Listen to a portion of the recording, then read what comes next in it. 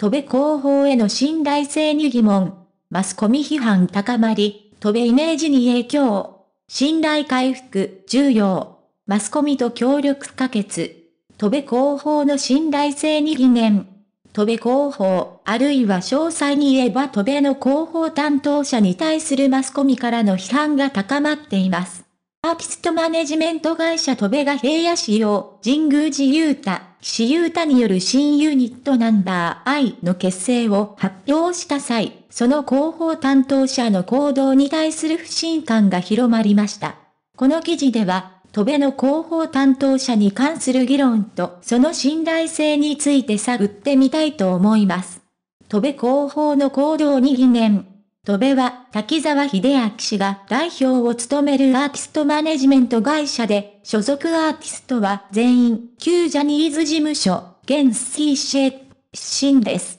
現在、同社の看板とされるのが、キングピンス以下、キンプリの元メンバーで結成されたナンバー I です。新ユニットの結成が発表された際、ファンは喜びに包まれ、サポートの声が相次ぎました。しかし、キンプリメンバーの5人が分裂するという出来事は、ファンにとって複雑な思いを抱かせるものでした。一部のファンは、戸部のトップである滝沢氏を責める声を上げたと言います。その中でも、戸部の広報担当者に対する不信感が高まったとの声が上がっています。戸部広報は、戸部に合流する噂について何度も完全否定してきました。しかし、平野、神宮寺、岸が最終的に戸部に移籍したことにより、マスコミ側からの不信感が高まりました。その広報担当者は、もともと東京ガールズコレクション TGC などを運営するイベント会社 W 東京出身で、大手芸能プロダクション兼ごとに在籍していた経歴を持っています。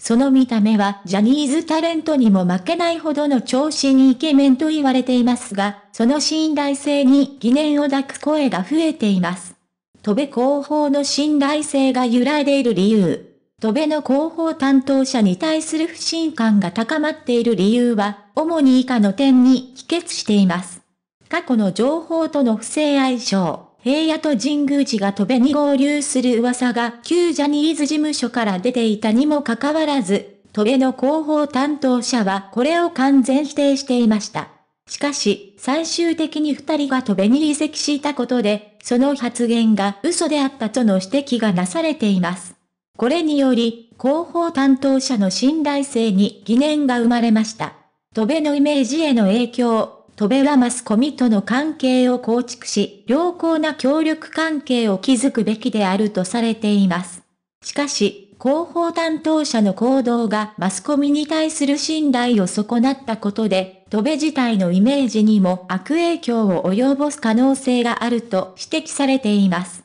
週刊誌が戸部に対して攻撃的な記事を出すなど、その影響が表面化していると言えます。マスコミへの対応、広報担当者がマスコミからの問い合わせに対して無回答で通せばまだ問題は少なかったかもしれません。しかし、後になって嘘であることが明らかになるコメントをしたことで、マスコミ側の信頼が失墜しました。これにより、戸部はマスコミから敵対的な姿勢を取ることになった可能性が浮上しています。戸部広報の信頼性の重要性。アーティストマネジメント会社としての戸部は、アーティストや新ユニットの成功にはマスコミとの協力が不可欠です。そのため、広報担当者の信頼性は非常に重要です。マスコミが情報を信じ、トレのイメージを高める協力関係を築くことがアーティストの成功につながるでしょ